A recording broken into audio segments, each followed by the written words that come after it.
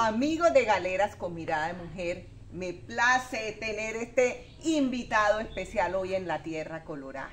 Se trata de un hombre que admiro, que sigo y sobre todo que dinamiza el territorio.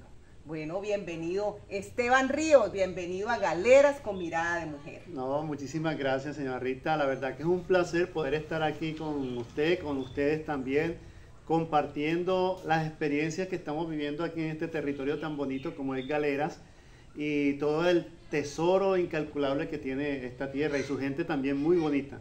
Bueno, a mí Esteban tiene una, es un creador digital, tiene una página muy especial, ya ustedes lo identifican, que se llama Viajando con Esteban, que tiene más de 50 mil seguidores y bueno, sigue dinámico en esa tarea. Pero bueno, más allá de eso, toda esa dinámica que genera en el territorio, ¿quién es Esteban Ríos? ¿Por qué se metió en este cuento y por qué nuestra sabana? Bueno, Esteban es una persona que ama el territorio, que le gusta mucho poder eh, mostrar las cosas buenas de la región, porque la tendencia de uno como ser humano es siempre mostrar como lo malo o hablar mal de la región teniendo tanto tesoro. Y debido a ese, a, esa, ese pensamiento decidí involucrarme en mostrar las cosas buenas de la región. A raíz de esa, como esa situación que yo veía en la gente y que uno como romper eso y dije, voy a mostrar las cosas buenas que tiene la región. Y me empecé a ir hacia el tema de los pueblos, porque los pueblos, a pesar de muchas decadencias que hay, pues hay muchas cosas bonitas que mostrar y que tienen que rescatarse y, valorarse.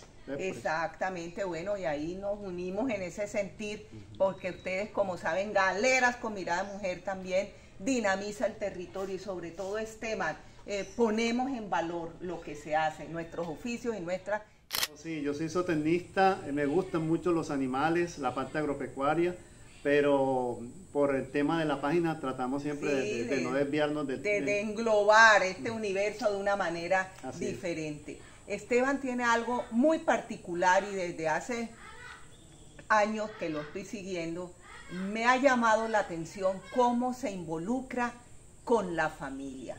¿Por qué viajas con ellos? ¿Por qué los involucras en este cuento?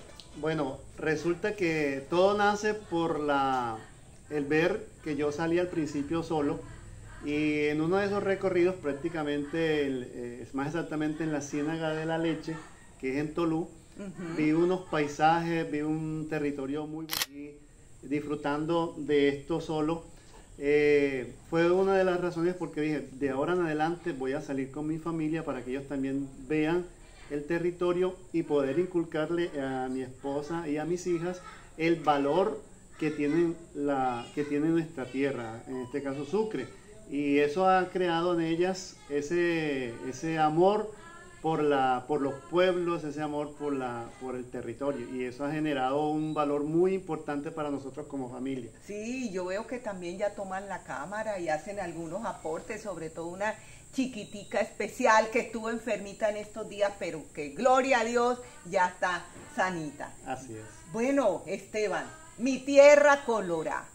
¿Qué vienes a hacer acá y qué, o qué piensas hacer acá en ese universo de viajando con Esteban? Bueno, la idea de esta es poder mostrar un poco de la gastronomía tradicional.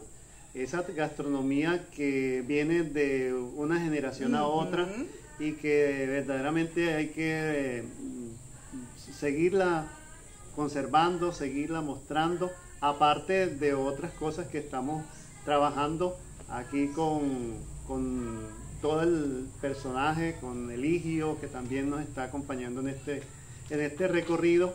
Y bueno, esa es la idea, y mostrar un poco de lo que se está haciendo a través de la página Viajando con Esteban. Exactamente, bueno, me imagino Señores, que van a ver nuestra arepa chorreá en yucao, nuestra galleta criolla, ¿ya? Y bueno, no les digo más para que sea Esteban con su página eh, pueda dinamizar y pueda mostrarle al mundo estos saberes, sabores y colores de nuestra tierra colora. Ay, Esteban, gracias por visitarme, gracias por estar aquí y gracias por acoger la tierra colorada en tu corazón. No, es un placer para mí, es un gusto poder estar aquí en esta hermosa tierra.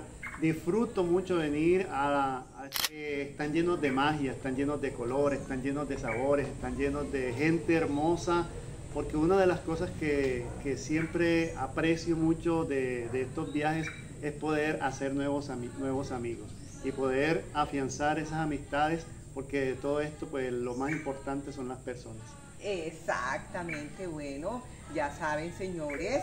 Bueno, bienvenido Esteban, viajando con Esteban a mi tierra colorada. Y los invito a que sigan apoyando este trabajo que está haciendo la, la señorita con galeras con mirada de mujer y todo el trabajo que se hace para dinamizar y mostrar este hermoso territorio.